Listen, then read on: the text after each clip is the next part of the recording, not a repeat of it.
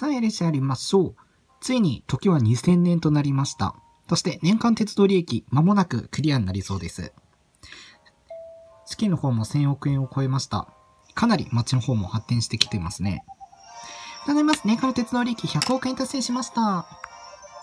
山岳と峡谷が入り組んだ複雑な地形の中にここまで立派な鉄道網を構築できたことは驚くべき成果だと思います。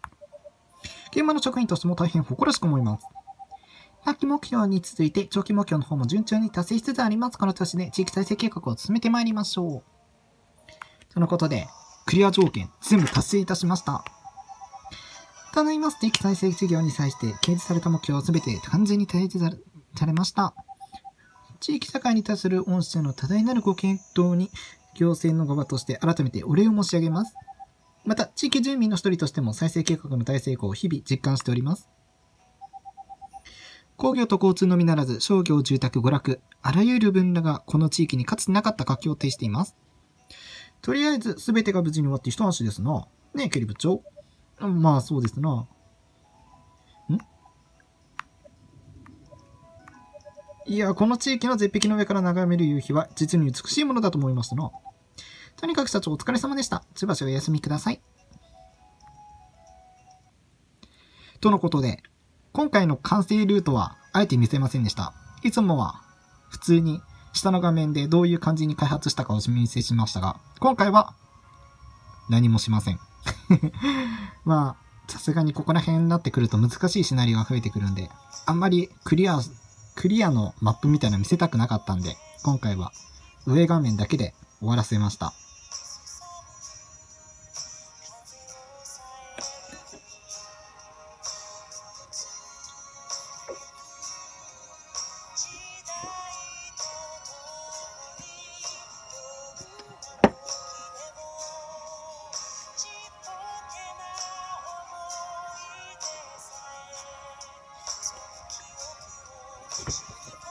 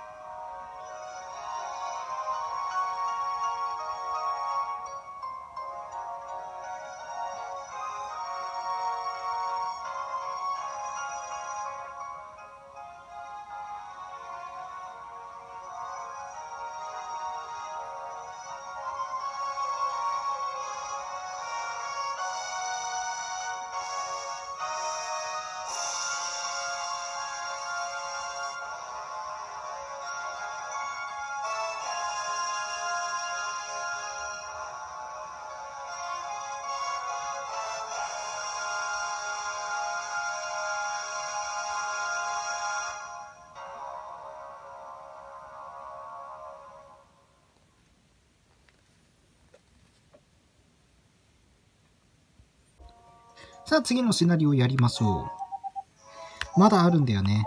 次どれでしょうか。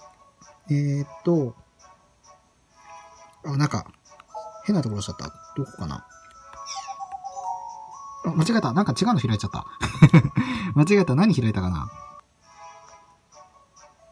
えー、失礼しました。次こちらですね。うのー 何この気持ち悪いのは。川か。びっくりした。なんか血管に見えたわ。びっくりした。ね何これ？燃ゆるけ、えー、渓谷の向こうに。全然燃ゆるじゃない。なんか亀の甲羅みたいな。後継機に取り残された新緑にもゆる山間の地域に聖戦となっていたかつての鉄道計画に光を当て、今再びの賑わいをこの計画に取り戻してくださいとのことで、2年経過中に鉄道総延長100キロ、16年以内に総延長200キロ、16年以内に年間新管理利益が300億円かな。16年以内に年間子会社利益200億円。16年以内3万、自己3万人となっています。年間資源管理に行く300億円って相当難しいよ。あと、鉄道総延長200キロ。これ平地だったらいいんだけどさ、平地じゃないとかなりきついと思います。やっていきましょう。どんどんどんどん難易度が上がっていくな。ここでついに倒産となったら嫌だな。まあ、自分の会社ないからいいんだけど。おはようございます、社長。この度、当社はこの地域の鉄道網再備計画に、えー、自治体と共同して新会社を設立し、参画する運びとなりました。かつてない好景気に日本中が湧き立つつある中、林業と漁業で栄えていたこの地域は好景気から取り残され、それと同時に進みつつある傘の苦悩に嘆いています。そこで凍結されていたかつての鉄道整備計画を再び推し進め、産業振興と加速化対策を成し遂げるのが今計画の目的です。そんなちょこちょこさ、会社建てられるのかね？本計画は自治体との共同計画であり、計画承認に際した議会からの要求として、短期長期の目標が捧げられています。まず基礎となる路線を整備し、計画全体の見通しを確かにするための短期の目標として、鉄道総延長100キロ。そして計画の長期目標としまして、第一に鉄道網完備の目安の数字として、鉄道総延長200キロ。さらに計画の経済発給効果として資産を期待されている数字より年間資源管理益300億円、ネカ外子会社利益200億円の達成。最後に仮想化対策としてこれも資産を期待される数字より地域地域の3万人の達成。以上が自治体より求められている目標です。短期の基礎鉄道整備目標は期限が短く、注意深く計画を進める必要があるでしょう。長期目標の産業振興、加速化対策の達成条件は多岐にわたりますので、こちらも困難が予想されます。社員一概となって目標達成のため頑張っていきましょう。明日には本計画に自治体化は出向なさってきた担当の方とのミーティングが予定されています。うん。それまではこの地域の視察などいかがでしょうか資金274億円あります。まあまあですね。じゃ下画面移ってマップ見ましょう。まず全体のマップからです。うん、拡大しても気持ち悪い。えー、町の北側がどうやら町になってます。えー、しかし鉄道は通ってない。あ、通ってます。通ってましたね。えー、鉄道は通ってます。道路も通ってます。で、どうなってんだろうまた伏線と単線がくっついてわけわかんない感じになってる。きっとこれもまた前回みたいにポイントの中があるんでしょうけども、私にはわからないわ。前回のはわかりやすかったんだけどね、今回ちょっとわかんないわ。ってことで多分これは伏線にします。うんで、ここは？これは桜だよね。うーん、あと全部森だわ。あ、これ何？あ、ここ学校がありますね。標高。標高はわかんないな、俺。あ、ここにも学校ある。ここも学校がある。あ、ここも鉄道通ってますね。うーん。いや、でもね、極めて標高が高すぎる山とかはないです。前回みたいなのは。だからどこも多分鉄道は通らせるんだけど、トンネル作った方が早いかもしれないね。まあ、鉄道、あ、トンネルの方がお金かかるから普通に取らせた方がいいかな。頭を使いながらやればそんなに難しくないかもしれません。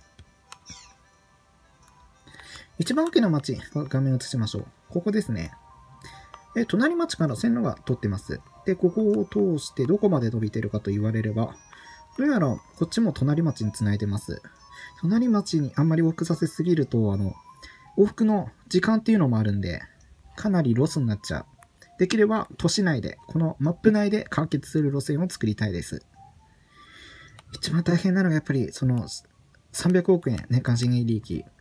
年間資源利益は、えっと、普通に資材でもいいんですけども、さっきちょっとね、ここら辺にほら、この漁業があります。10個ずつ生産してるみたい。こういうのをこまめに売っていけば問題ないのかな。まあ、運よく隣町すぐそこなんで、まあ、それはとにかく売りまくればいいかな。あ、ここにもある。よかったよかった。ん？あ、漁港だよね、これ、ちゃんと。どれだけこれをうまく使うかが肝心です。あ、ここも下がすぐなんだね。いいと思います。全部そうだですね。あ、製材所もある。こういうのをもう全部フル活動させないと厳しいと思います。しかも森林とかってさ、伐採しきったらもう生産ゼロになっちゃうから、それも読み合いが必要ですよね。うーん、大丈夫かしら。魚は問題ないとして、そう、木材の方はあれなんだよね。いろいろ大変だと思います。まあ、今回説明パートになると思いますので、上画面移しましょう。どうも、はじめまして、社長。この度の鉄道整備計画の自治体河原の窓口を務めさせていただきます、六本木です。ああ、六本木さん、こんにちは。前回のシナリオ悲惨でしたね。うん、自分の職場がなくなりかけたけど。本社がこの鉄道整備計画に名乗りを上げてくださったこと、本当に感謝しております。目が覚めてるね。やっぱりなんかすごく嫌そうな顔してるわ。常にご存知のことも多いかと思いますが、今一度この度の計画の詳細につきましてご説明させていただきます。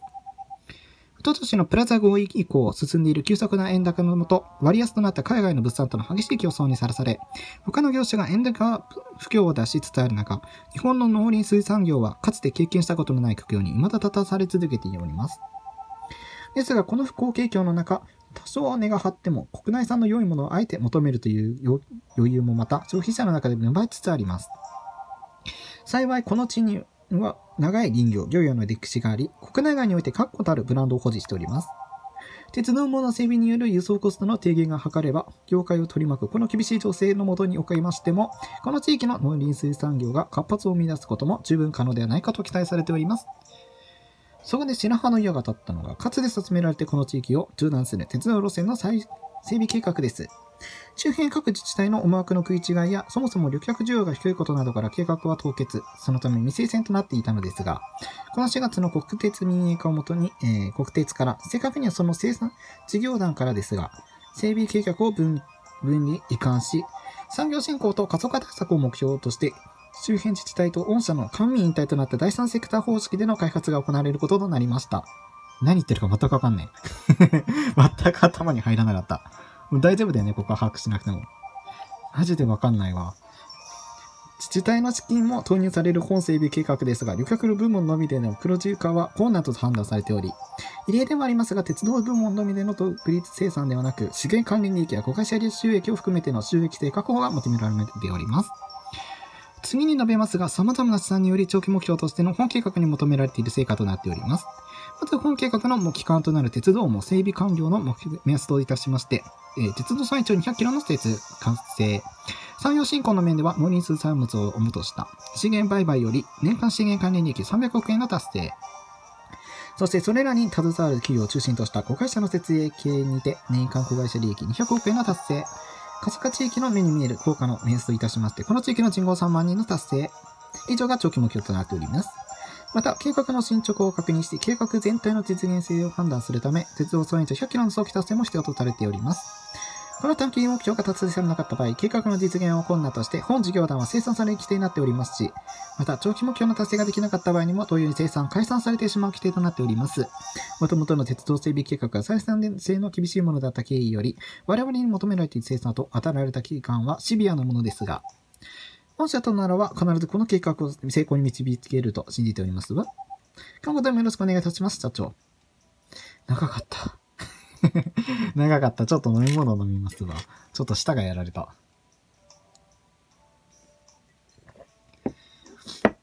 大抵この A 列車や実況やるときは隣に飲み物を置いてます。じゃないと喉やられる。マジで説明パート説明長い。いやはや社長、なかなかに厳しい計画のようですな。ですが、だからこそ大きなビジネスチャンスであるとも言えます。今、我が社からは考えられない規模の開発事業に携われるのも自治体からの出資を受けた官民一体の計画だからですし、第三セクター形式の経営ながら、試験関連や公開性経営での利益を経理に組み込めるのは確かに大きなメリットかもしれませんな。さて、新えー産業振興の目標としての資源関連や公開者経営の計画、さらには仮想化対策としての宅地開発計画も必要ですが、まず短期目標にある、えー鉄道路線の整備計画を練らなければなりません。ご覧の通り、この地域の大半は緑に染まる山深い地となっております。日本有数の雨量を誇る地域でして、深い森林に覆われた高地を縫うように無数の河川が刻む急険な、えー渓谷が行く筋も走っています。そのため、ルートの整地の余地も多いとは言いませんし、いざルートを決めたとしても路、路盤を築くのになかなかの困難が予想されます。ルートはいくつか考えられますが、一番そうなのはまず五条駅より南に線路を引き、五条の画像性素人地区を巡り、坂下地区に抜け、そこから円津川を下り、本社、新社と至るルートでしょうね。工場から坂下地区へはかつての整備鉄道整備計画の、ね、名残のトンネルも残っており、多少ですがコストを抑えることも期待できます。この地域の中央を分断するルートのため、合同審査の間をほぼ最短で繋ぐことができますし、支流の多い越川に沿って進むため、周辺に林業拠点を多く設けることが期待できるルートですね。その他にも、橋木も、橋木から、本屋の山を抜け、尾根筋を、えー進めつつ、竜王中別地に至り、その後本社、新社と東に抜けるルートなども考えられます。こちらのルートは歴史ある高野山の、えー貝殻や温泉のある竜王など、この地域としては比較的観光客のなどの流客需要が見込めます。険しい地形の土地柄ですが、他にも様々なルートの余地があると思われます。まず短期目標の鉄道創出100キロ向けて頑張っていきましょう。ただ、鉄道、短期目標達成でなく、長期目標達成のための収益性の確保もくれぐれ忘れないようお願いしますぞ。本日はここで一旦終わります。はい、ありがとうございました。